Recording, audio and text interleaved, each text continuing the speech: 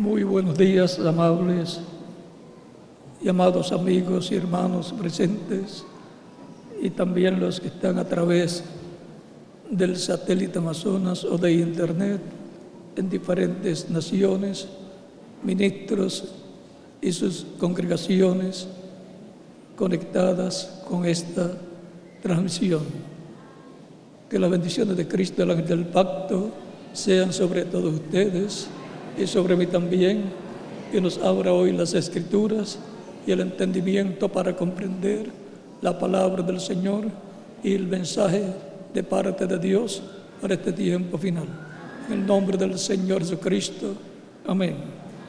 Es para mí un privilegio grande estar con ustedes en esta ocasión para compartir con ustedes unos momentos de compañerismo alrededor de la palabra de Dios y su programa correspondiente a este tiempo final.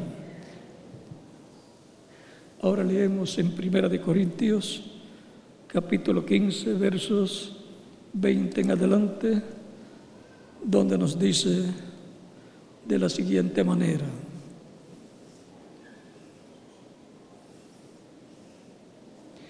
Mas ahora Cristo ha resucitado de los muertos, primicia de los que durmieron es hecho. Porque por cuanto la muerte entró por un hombre, también por un hombre la resurrección de los muertos. Porque así como en Adán todos mueren, también en Cristo todos serán vivificados, pero cada uno en su debido orden.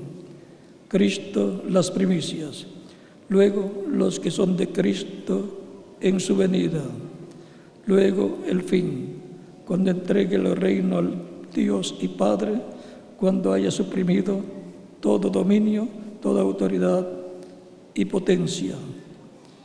Porque preciso es que le reine hasta que haya puesto a sus enemigos, porque preciso es que le reine hasta que haya puesto a todos sus enemigos bajo, debajo de sus pies. Y el posterior enemigo que será destruido es la muerte, porque todas las cosas las sujetó debajo de sus pies. Y cuando dice que todas las cosas han sido sujetadas a Él, claramente se exceptúa aquel que sujetó a Él todas las cosas. Pero luego que todas las cosas le estén sujetas, entonces también el Hijo mismo se sujetará al que le sujetó a Él todas las cosas, para que Dios sea todo en todos. Y Dios bendiga nuestras almas con su palabra y nos permita entenderla, nos abra las escrituras y la mente y el corazón para entenderla. En el nombre del Señor Jesucristo. Amén. Jesús resucitado, como dijo la Escritura, es nuestro tema para esta ocasión. Pueden tomar asiento si tienen la bondad.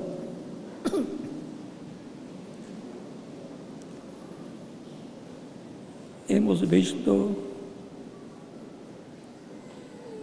que la resurrección de Cristo estaba profetizada y estaba mostrada en la fiesta hebrea de la Pascua y sobre todo en la gavilla mecida que representa a Cristo resucitado.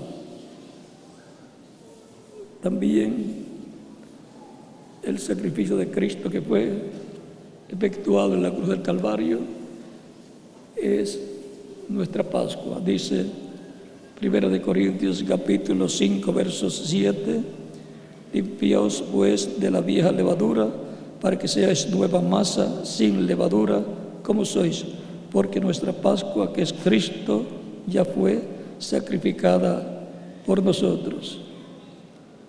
Ahora vean cómo en estas fiestas judías o hebreas están profecías que se llevarían a cabo cada una en su debido tiempo. La Pascua, que fue efectuada allá en Egipto, cuando Dios le ordenó al pueblo hebreo a través del profeta Moisés que cada padre de familia tomara un cordero de un año sin defecto y lo tuviera por unos cuatro días examinándolo desde el día 10 hasta el día 14 del mes de Abril, encontramos que ese cordero pascual sería sacrificado para la preservación de la vida de los primogénitos hebreos allá en Egipto. Era la única forma de evitar la muerte sobre los primogénitos hebreos. Y solamente Israel tenía la revelación divina de cómo evitar la muerte de los primogénitos. Era para la preservación de la vida de los primogénitos hebreos. En cada familia podía haber uno o dos primogénitos, porque el padre de familia podía ser un primogénito y luego su hijo mayor era otro primogénito, serían dos. Y en algunos casos uno solo en la familia. Pero dependía la preservación de la vida de ellos de ese sacrificio, de ese cordero pascual, y que su sangre fuera aplicada sobre el dintel de los postes del hogar, de esa casa de familia, y luego el cordero fuera asado en fuego, con fuego, por supuesto, y colocado dentro del hogar. Y durante la noche de la Pascua estar comiendo ese cordero pascual. Esa era la forma de Dios. Quizás cualquier otra persona podía pensar de otra forma, pero era importante hacer las cosas de acuerdo a como Dios le reveló al profeta Moisés. Es que ese cordero pascual era tipo y figura de Cristo que moriría en la cruz del Calvario para la preservación de la vida de todos los primogénitos escritos en el cielo en el libro de la vida del Cordero. Por eso el apóstol Pablo en Hebreos capítulo 12 nos habla acerca de los primogénitos y nos dice que están escritos en el cielo.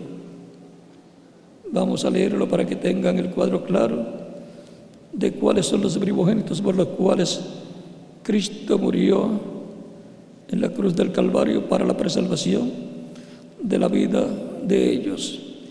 Capítulo 12 de Hebreos.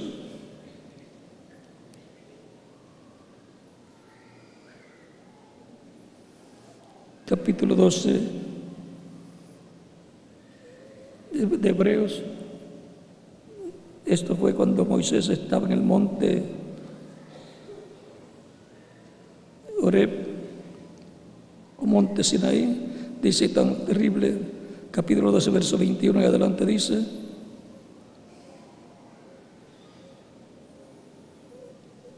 un poco antes dice el verso 18, porque no os habéis acercado al monte que se podía palpar y que ardía en fuego, a la oscuridad, a las tinieblas y a la tempestad, al sonido de la trompeta y a la voz que hablaba, la cual los que lo oyeron rogaron que no se les hablase más, porque no podían soportar lo que se ordenaba. Si aún una vez de tocar el monte, será apedreada o pasada, por dar, o pasada con dardo. Y tan terrible era lo que se veía que Moisés dijo, estoy espantado y temblando, sino que os habéis acercado al monte de Sión, a la ciudad del Dios vivo, Jerusalén la celestial, a la compañía de muchos millares de ángeles, a la congregación de los primogénitos que están inscritos en los cielos. ¿Dónde están inscritos los primogénitos de Dios? En el cielo, en el libro de la vida del Cordero. Por ellos fue que Cristo murió para la preservación de la vida, o sea, para que puedan vivir eternamente todos esos hijos e de Dios que son los primogénitos escritos en el cielo, en el libro de la vida del Cordero. esos serían los que formarían la iglesia del Señor Jesucristo, porque la iglesia del Señor Jesucristo es la congregación de los primogénitos de Dios, los hijos e hijas de Dios, y vienen por medio de la unión de Cristo y su iglesia. Su iglesia nació el día de Pentecostés y por consiguiente su iglesia es la segunda Eva y Cristo es el segundo Adán, para tener hijos e hijas de Dios. Porque Jesucristo, el Hijo de Dios, produce o se reproducen hijos e hijas de Dios por medio de su iglesia, que es su iglesia, hija de Dios. Y es la esposa, novia o la novia esposa de Cristo, el Salvador. Ser un miembro del cuerpo místico de Cristo, ser parte del cuerpo místico de Cristo significa que la persona es un hijo o una hija de Dios. Escrito en el cielo, en el libro de la vida del Cordero, por los cuales Cristo murió en la cruz del Calvario como el Cordero Pascual para preservación de la vida, para que puedan vivir eternamente porque ellos vienen de la eternidad y Cristo le da continuidad a esa vida eterna, dándoles vida eterna por medio de su sacrificio en la cruz del Calvario.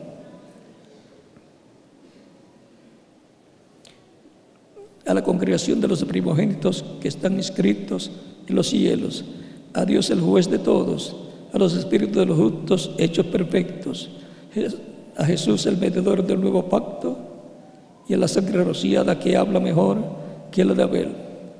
Y ahora el mediador del nuevo pacto no es un sumo sacerdote del orden de Aarón, es el sumo sacerdote del templo celestial, es el sumo sacerdote Melquisedec, porque Jesucristo es Melquisedec, Él es el sacerdote del templo celestial que intercede por su sangre con por nosotros y con su sangre nos mantiene limpios de todo pecado. Él está entre Dios y el ser humano, entre Dios y sus hijos. Haciendo intercesión es el mediador entre Dios y los hombres. Por lo tanto, la resurrección de Cristo, del sepulcro es la victoria de Cristo. Él le quitó allá el infierno las llaves de la muerte y del infierno al diablo y luego pasó por el paraíso y trajo con él en la resurrección los santos del Antiguo Testamento que aparecieron a muchos en la ciudad de Jerusalén después de la resurrección de Cristo. Eso está en San Mateo capítulo 27.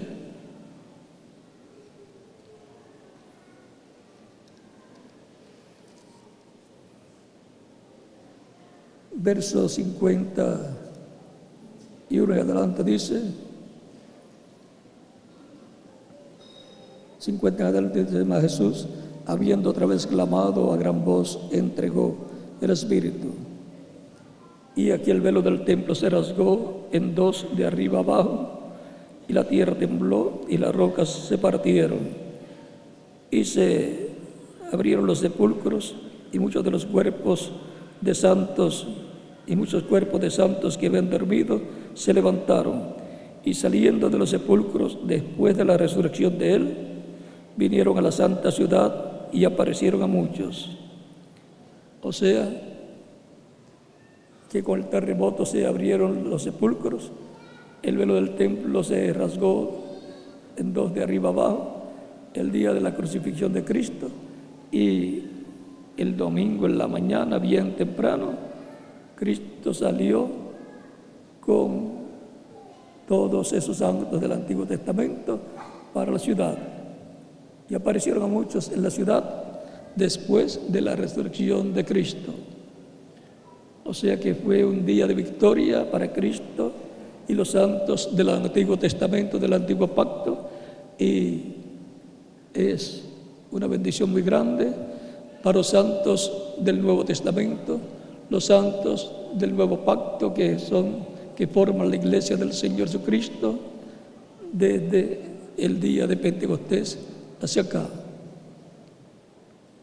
Ahora vean cómo esta fiesta de la Pascua y de la Gavilla Mesida representan a Cristo muriendo como el Cordero Pascual y a Cristo resucitando como la Gavilla Mesida que es presentada ante Dios el domingo de resurrección. Por eso conmemoramos el día de la resurrección de Cristo, dando a conocer lo que sucedió en ese día domingo de resurrección. La victoria de Cristo es nuestra victoria.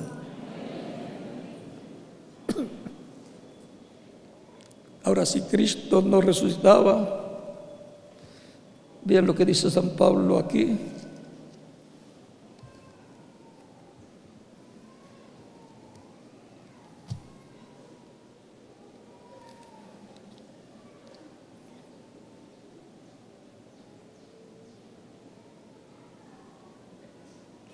capítulo 15, verso 17 en adelante dice, 16 en adelante,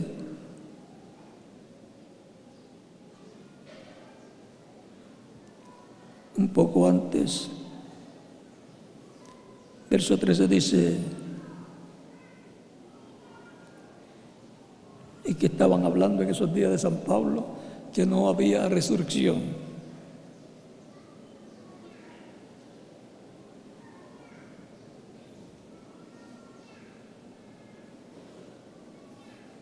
Pero si se predica Cristo que resucitó de los muertos, como dicen algunos entre vosotros que no hay resurrección de muertos, es el verso 12 en adelante. Porque, porque si no hay resurrección de muertos, tampoco Cristo resucitó. Y si Cristo no resucitó, vana es entonces nuestra predicación, vana es también vuestra fe y somos hallados falsos testigos de Dios, porque hemos testificado de que Dios, que,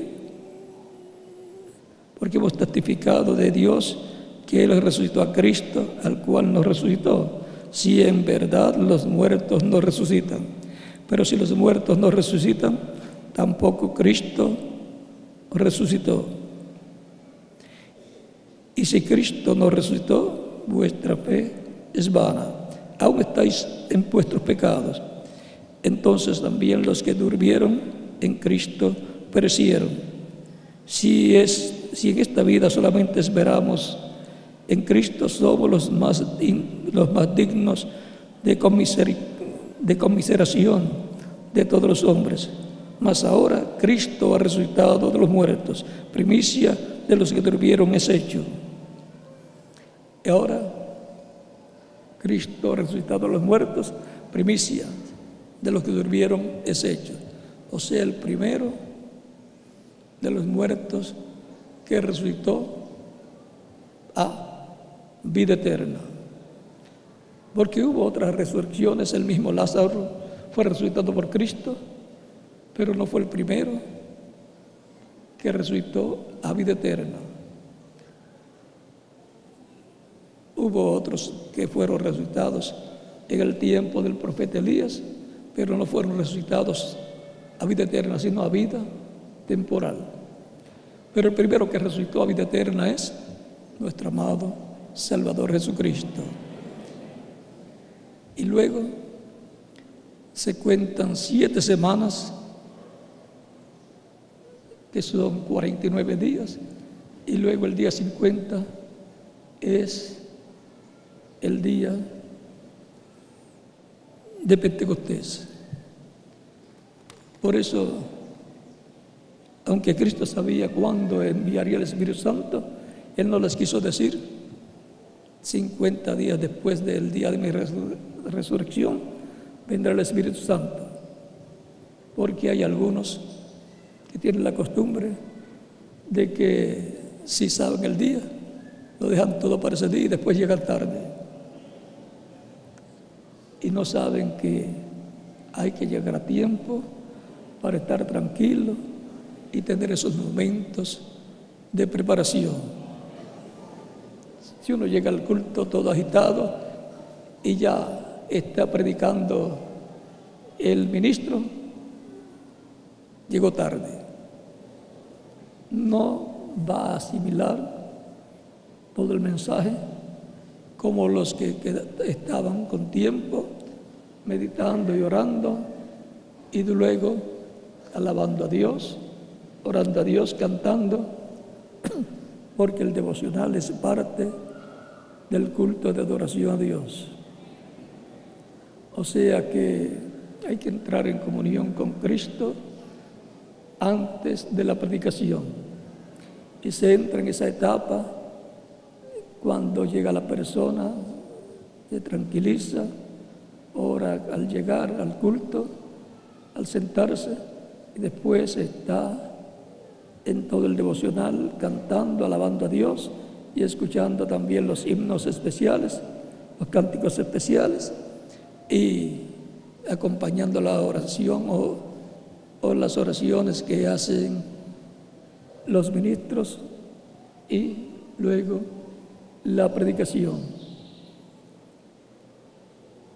El orden del culto es importante para estar en comunión con Cristo todas las veces que venimos al culto y después durante la semana, también en los cultos durante la semana que hay y también en la vida diaria estar en comunión con Cristo, con nuestra mente y el corazón puesto en Jesucristo nuestro Salvador. Y siempre pensando y esperando nuestra transformación.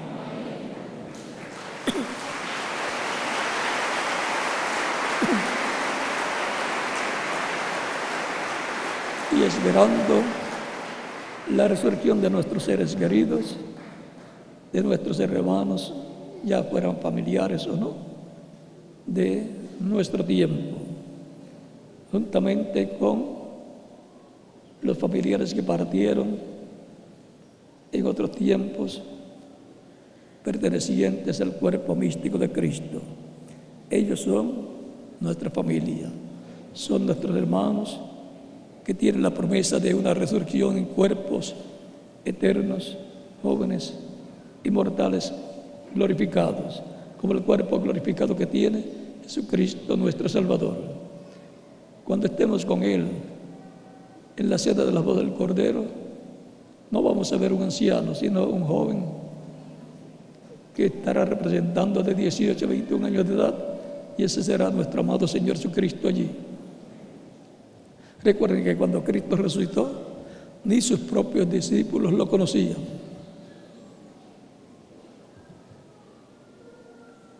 María Magdalena lo confundió con el jardinero del cementerio.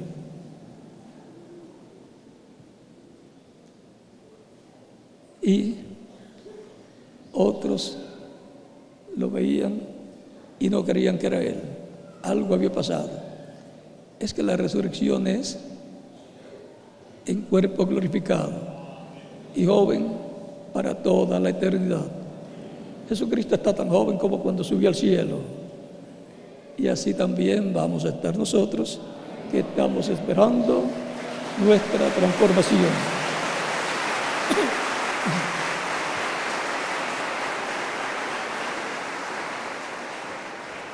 La promesa es que habrá un grupo de creyentes en Cristo que permanecerá vivo hasta su venida y hasta su transformación. Y ese grupo estará en una edad perfecta, la edad de piedra angular, la edad de oro, la edad del lugar santísimo del templo espiritual de Cristo, o sea, de la iglesia del Señor Jesucristo. Esos son los que heredarán esa promesa de la vida del Señor con sus ángeles y la transformación de sus cuerpos a cuerpos glorificados, aunque algunos se vayan antes, regresarán a nuestra edad.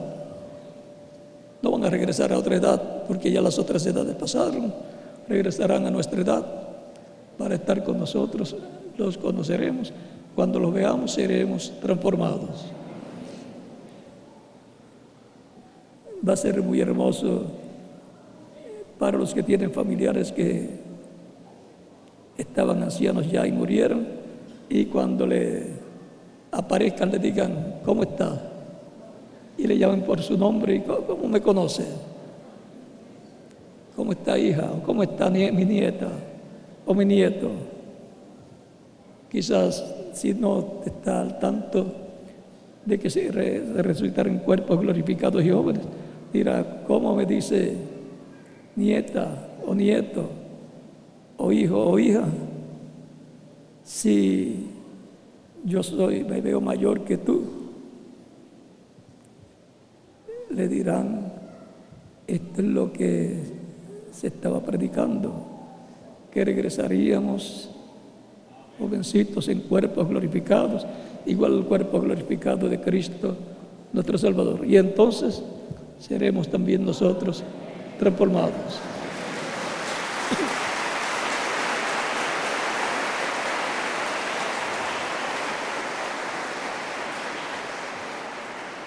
Cristo, siendo resucitado y presentado al Padre, presentándose al Padre, está tipificado en la cabilla vestida. La cabilla vestida que se presentaba ante Dios por el sacerdote, sumo sacerdote del tiempo en que se efectuaba cada año esa fiesta. Vean aquí, capítulo 23,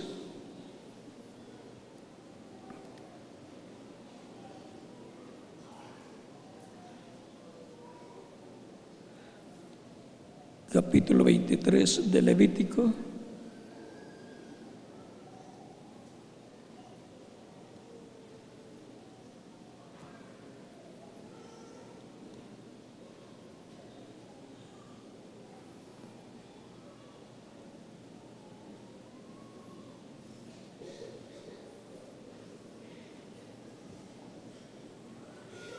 Capítulo 23. Verso 12 dice en adelante, y el día que ofrezcáis la gavilla,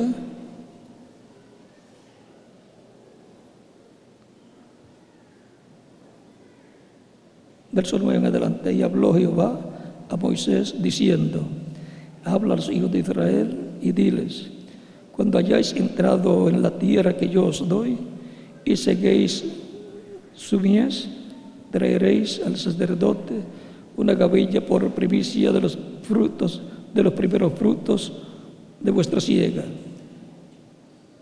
Una gavilla es un manojo de espigas con fruto.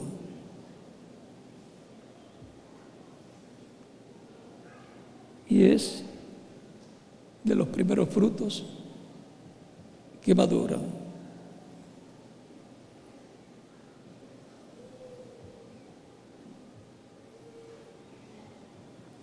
Y el sacerdote mecerá la gavilla delante de Jehová, para que seáis aceptos el día siguiente del día de reposo, la mecerá. El día siguiente del día de reposo, el día siguiente del sábado, es domingo. Domingo en la mañana fue mecida ante la presencia de Dios esa gavilla. O sea, Cristo fue presentado ante Dios. Por eso fue que eh, en San Juan, cuando le aparece a María Magdalena, le dice, no me toques porque aún no ha subido el Padre. Pero después que ya subió y volvió, entonces tocaron sus pies y le adoraron.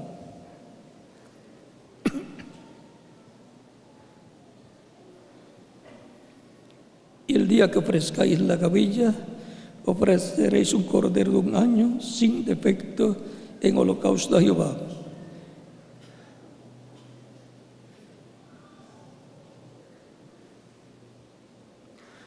Su ofrenda será dos décimas de efa de flor de harina amasada con aceite. Ofrenda encendida a Jehová en olor gratísimo. Y su, su libación será de vino, la cuarta parte de un hin. No comeréis pan, ni grano tostado, ni espiga fresca hasta este mismo día, hasta que hayáis ofrecido la ofrenda de vuestro Dios estatuto perpetuo es por vuestras edades en donde quiera que habitéis. Contaréis desde el día que sigue al día de reposo, o sea, contaréis desde el día que sigue al día de reposo, o sea, desde el domingo en que resucitó Cristo, desde el domingo en que es presentada esa cabilla, contaréis desde el día que sigue al día de reposo, desde el día en que ofrecisteis la gavilla de la, de la ofrenda mesida, siete semanas cumplidas serán. Siete semanas son 49 días. Hasta el día siguiente del séptimo día de reposo contaréis 50 días. Entonces ofreceréis el nuevo, el nuevo grano a Jehová. Transcurren 49 años desde el día en que la gavilla es vestida, eso es domingo, y después el día 50 que le sigue al día 49 es el día de Pentecostés, porque Pentecostés es 50 o 50 es Pentecostés. O sea que Cristo, conociendo las escrituras, y él mismo fue el que las dio, porque es el amén del pacto, él sabía cuándo iba a resucitar. Él sabía cuándo tenía que ser crucificado como Cordero de Dios, cuándo iba a resucitar de entre los muertos al tercer día y cuándo sería que Él derramaría de su Espíritu Santo sobre todos los creyentes, sobre todos los seguidores de Él, que estarían esperando ese momento glorioso. Por eso los mandó luego a quedarse en Jerusalén hasta que fueran investidos de poder de lo alto, hasta que viniera el Espíritu Santo para producir el nuevo nacimiento en ellos. Y entonces enviarlos a predicar el Evangelio a toda criatura, en todo lugar, comenzando desde Jerusalén. El comienzo de la predicación del Evangelio de Cristo, luego de resucitado, fue en el día de Pentecostés, en el aposento alto, recibieron el Espíritu Santo, de ahí bajaron y anunciaron al pueblo lo que estaba sucediendo. Y anunciaron la resurrección de Cristo, la salvación de vida eterna a través de Cristo. Y cuando preguntan las personas que allí estaban, Señores, hermanos, ¿qué haremos? San Pedro lleno del Espíritu dice, arrepentíos y bautícese cada uno de vosotros en el nombre de Jesucristo para perdón de los pecados y recibiréis el don del Espíritu Santo, porque para vosotros es la promesa. Y para vuestros hijos, para los que están lejos y para los que están cerca, para todos cuantos el Señor nuestro Dios llamare. Libro de los Hechos, capítulo 12, versos 31 en adelante, hasta el 48. Y fueron como tres mil personas las que recibieron a Cristo y fueron bautizados y se añadieron aquel día como tres mil personas. La predicación del Evangelio comenzó con un gran avivamiento,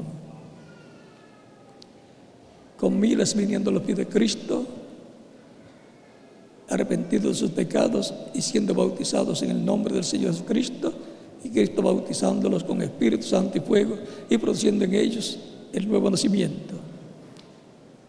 Y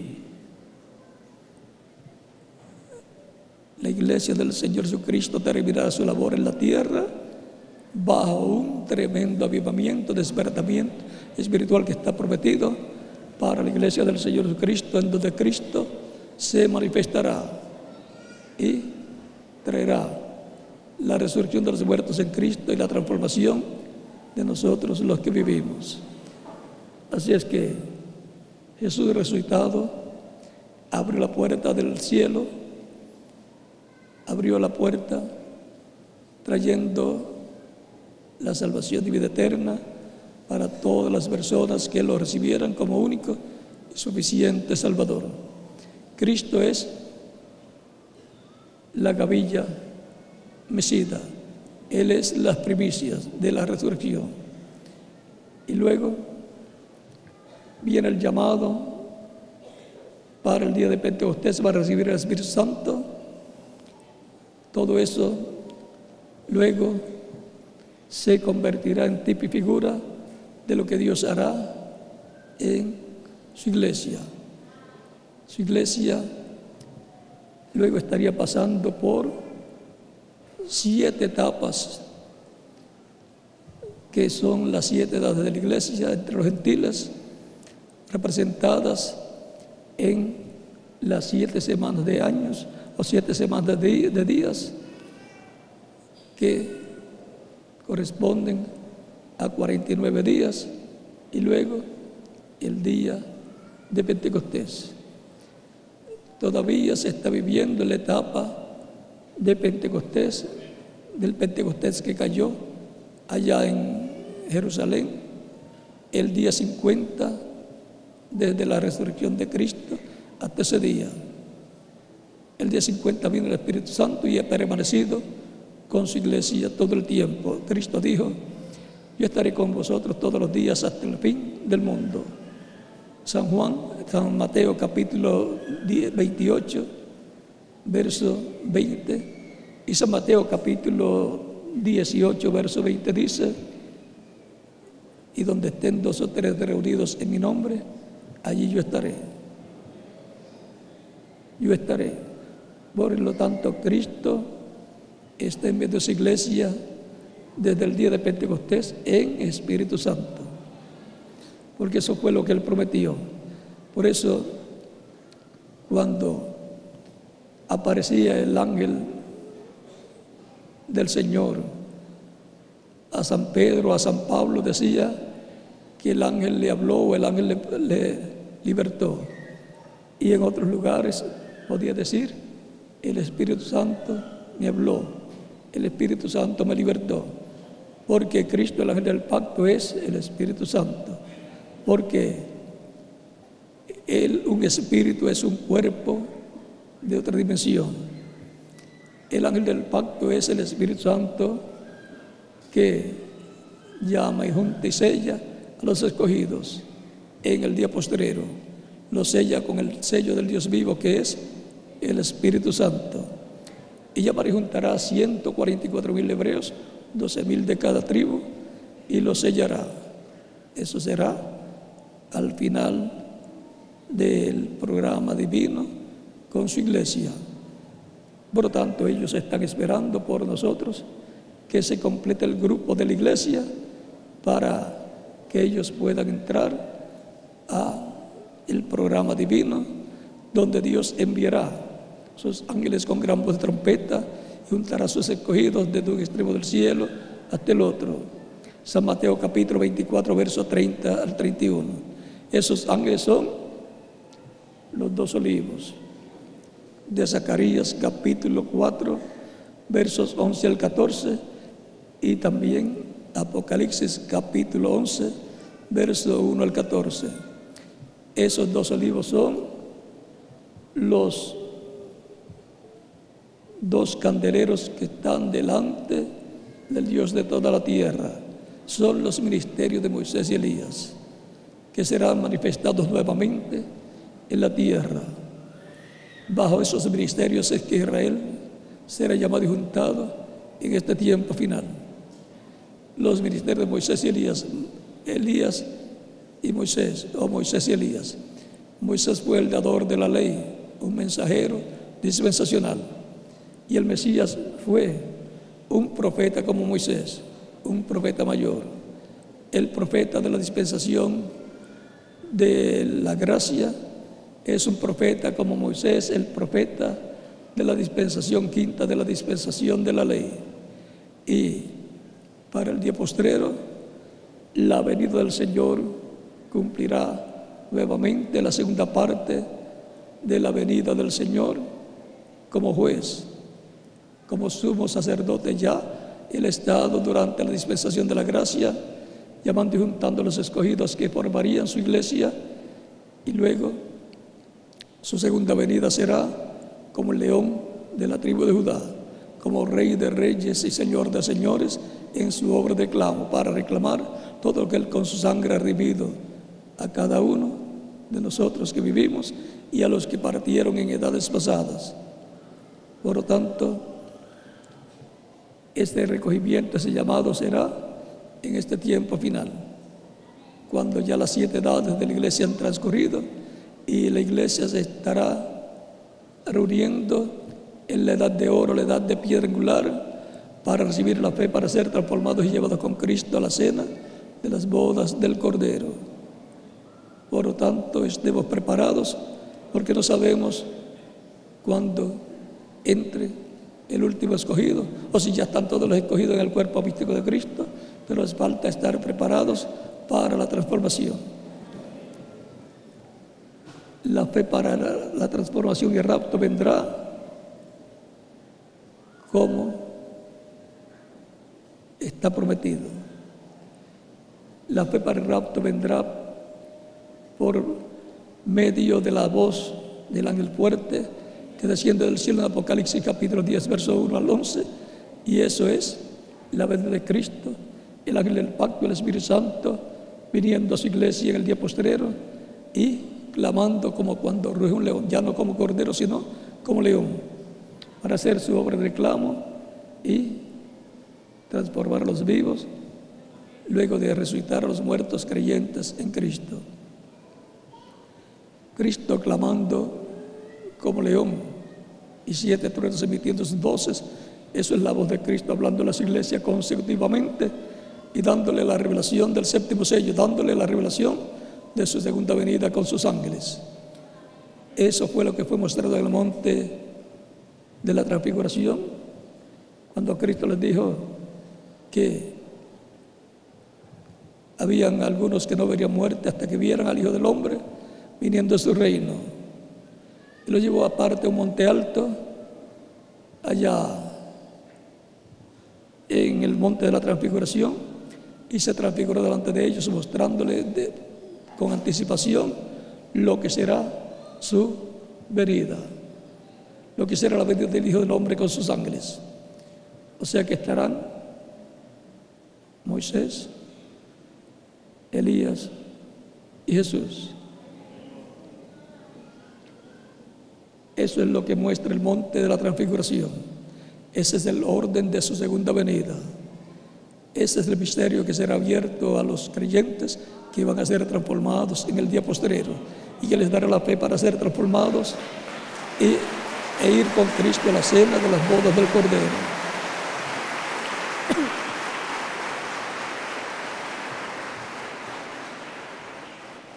Pero esa revelación vendrá en el cumplimiento de la visión de una gran carpa catedral que le fue mostrada al reverendo William Brana, en donde la tercera etapa será manifestada. La tercera etapa traerá esta manifestación de Cristo, revelándonos el misterio de su segunda venida, y eso nos dará la fe para ser transformados y llevados con Cristo a la cena las bodas del Cordero. Así la revelación de la primera venida de Cristo siendo revelada a través de la predicación del Evangelio nos da la fe para recibir la salvación y vida eterna, así también nos da la fe para ser transformados. La revelación de la segunda venida de Cristo, que será dada a conocer, revelada por la voz del ángel fuerte que desciende del cielo por Cristo, el ángel del pacto, el Espíritu Santo, hablándonos, revelándonos estas cosas en el cumplimiento de la visión de la carpa, donde la tercera etapa estará siendo manifestada. O sea, que la iglesia del Señor Cristo comenzó en un aposento alto y terminará en una gran carpa catedral. Tan sencillo como es.